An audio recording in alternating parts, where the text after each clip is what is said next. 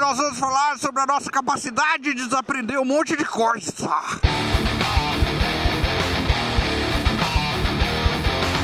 Olá pessoas, tudo bem com vocês? Tudo bom? Meu nome é Carlos Gonzalez e antes de mais nada, isso aqui não é um canal igual esses canais que você está acostumado a ver por aí, não!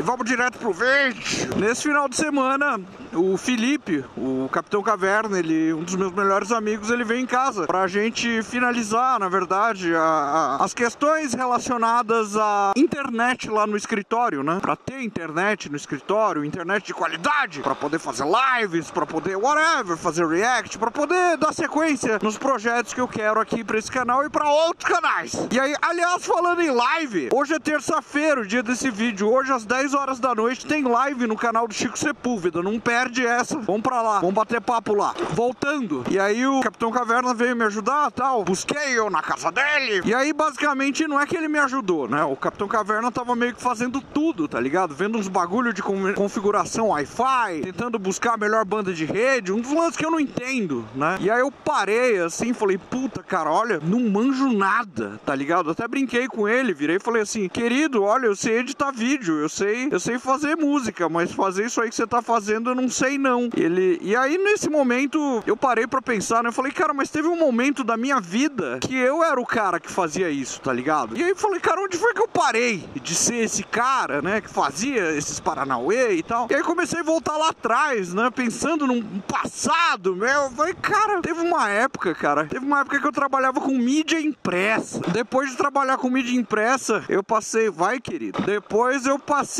a trabalhar com internet, porque era o caminho natural pensavam as pessoas, né? Falavam, ah, ele mexe com mídia impressa, então ele sabe fazer site também. Meio que, enfim, essa era a lógica daquela época. Então, no surgimento da internet, quando não existia site, eu era um web designer, tá ligado? E as coisas meio que se misturavam, web designer, webmaster, whatever. Eu fiz muito site. E aí, pouco tempo depois, eu já tava trabalhando com agências de publicidade, fazendo site. E pouco tempo depois, eu tava com a minha empresa. E pouco tempo depois, eu tava talvez criando um dos primeiros serviços de e-commerce daqui do Brasil foi muito louco. E depois deu lá a merda da bolsa, deu a merda da Nasdaq, aí eu voltei. Tive uma incrível passagem sendo ajudante de pedreiro e depois eu voltei para este mercado da publicidade, internet e meios digitais. Voltei para publicidade. Na publicidade fui explorado pra caramba, mas meu, fazia site, aí quando eu fui ver eu fazia site, fazia jornal. Quando eu fui ver eu fazia site, fazia jornal, tinha equipe, quando eu vi, whatever, né? Um monte de coisa. E aí mais coisas aconteceram, fui para a região norte do país, voltei e quando eu voltei, quando eu vi, eu tava trabalhando na área social. Por quê? Porque eles precisavam de um cara que soubesse fazer site. E o cara era eu, abastecer a moto. E aí, ligado a projetos e ações sociais, né? Eu entrei lá como designer. E aí, brother, de repente, eu não era mais só o designer, né? De repente eu já tava meio que participando da criação dos projetos, tá ligado? E aí, de repente, eu tava já tendo umas reunião com os financiadores, tá ligado? Uns puta reunião com os donos dos bagulho, tá ligado? Pessoal muito importante. E eu lá falando minhas groselhas sobre os projetos. E aí, de repente, quando eu fui ver, eu tava com uma equipe. Aí, de repente, quando eu fui ver, eu tava viajando o Brasil e a América Latina, saca? Pra implementar esse projeto. E quando eu fui ver, eu era gerente de TI. Então, além de criar os projetos, eu ainda gerenciava uma equipe. E, putz, grila, cara. Parei, né?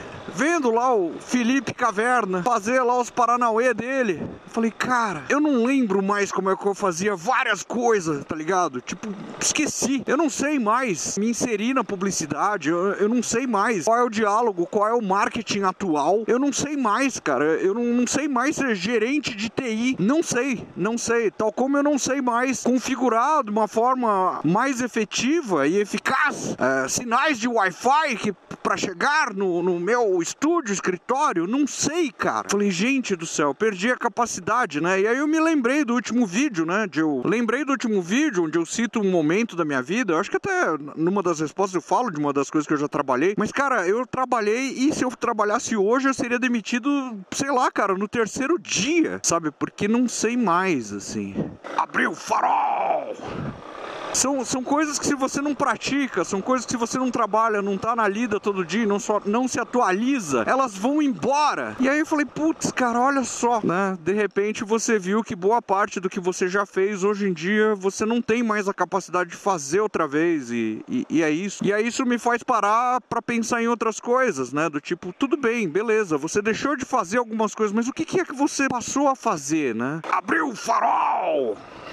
Eu passei a me articular de forma muito mais incisiva em questões relacionadas à música. Eu melhorei muito o jeito que eu toco, eu melhorei muito minha pegada em todos os instrumentos que eu toco, porque para quem não sabe eu sou multi-instrumentista, né? E mais, né, passei a gravar melhor os meus instrumentos, né, ao longo dos anos, né? Fui, fui desenvolvendo essa expertise para gravar melhor, tá ligado? E passei a compor melhor, a arranjar melhor. Aliás, hoje de tarde era o que eu tava fazendo, eu tava mixando o EP do Eu Taciturno Saturno para lançar para vocês logo mais. Lançar para vocês logo mais, porque essa é uma semana, olha só, ó que louco. Por que, que eu tô fazendo isso agora? Porque antes não tava dando tempo mesmo, tá ligado? De, de terminar a mix, que eu tava ocupado com o canal. E para fazer uma mix você precisa ter um tempo, né? E hoje eu me dei de presente, por isso que eu tô gravando de noite, porque eu me dei de presente a função de ficar trabalhando na mixagem das minhas músicas. E por que que eu ganhei esse tempo? Porque a dona patroa e a dona patroinha, elas saíram de férias, elas estão em Minas, na casa dos pais da dona patroa. E cara, muito legal, a dona patroinha já pescou, uma coisa que ela nunca tinha feito.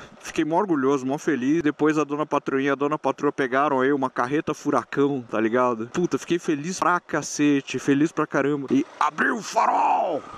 E nessa brincadeira das duas irem, né? Já no primeiro dia eu percebi o quanto eu sinto falta delas, sabe? O quanto me fez falta sabe? Ter aquele tempo corrido, aquela rotina, onde você precisa prestar atenção na pequena e, e dar uma renda pra tua esposa e etc. Cara, é, meu, mano, no primeiro dia já, hoje eu tô com uma saudade, cara, uma saudade que não cabe no peito, assim, tá ligado? Tipo, um pedaço meu não tá comigo. É muito louco. Eu não tinha passado por isso antes, tô passando agora. E aí isso me faz lembrar de uma outra coisa que eu aprendi também, além da música, né? Além da música, além da arte, que foi que eu aprendi ao longo desses anos, cara. Eu aprendi a ser pai. Eu aprendi a ser pai. Eu aprendi a trocar fralda. Eu aprendi a fazer alguém falar. Eu aprendi.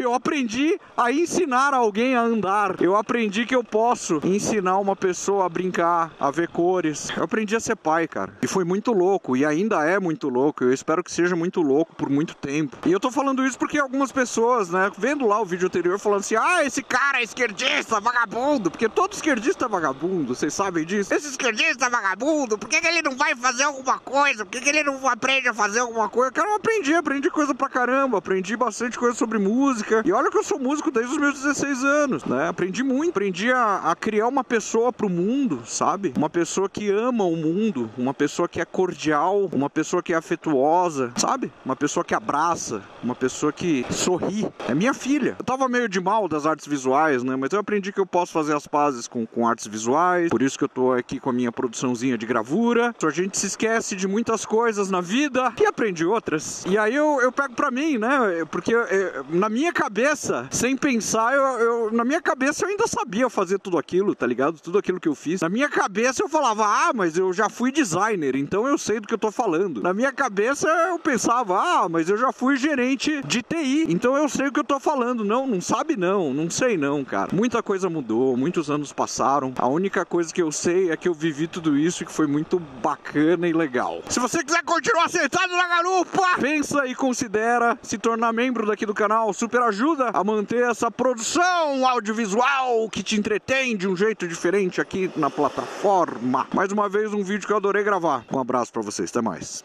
Tchau, tchau.